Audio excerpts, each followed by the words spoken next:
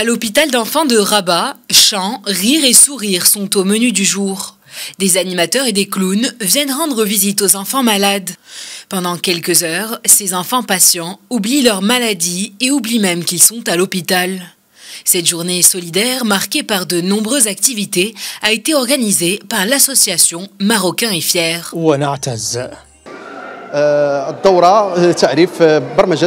Cette édition a été marquée par la programmation de plusieurs activités ludiques et des ateliers de coloriage et de dessin. Cette journée a été marquée également par la distribution de 200 cadeaux au profit des enfants malades. Ce genre d'activité permet aux enfants de les distraire des procédures médicales quotidiennes qu'ils subissent et leur permet de vivre des moments de joie à l'hôpital.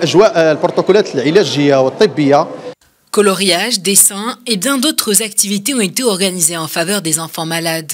Des moments de joie et de bonheur qui permettront aux patients d'oublier leurs conditions et de leur redonner le sourire.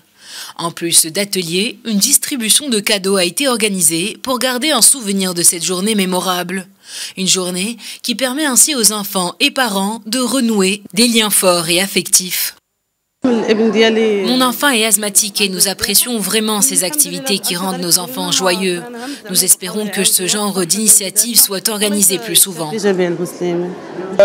Je suis très content de cette journée, ça a été une surprise. J'ai bien fait de venir aujourd'hui pour voir les conditions dans lesquelles on traite nos enfants. C'est une belle journée pour les enfants et les parents qui ont assisté à cette initiative.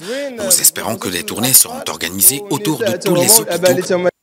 La journée solidaire organisée en faveur des enfants malades a été un franc succès. Enfants et parents se sont dit plus que ravis par les activités et les cadeaux offerts aux enfants. Ce geste solidaire a été tenu en plein mois béni de Ramadan, preuve que le remède contre les maux de cette existence sont les bonnes actions que nous pouvons entreprendre en faveur des plus vulnérables.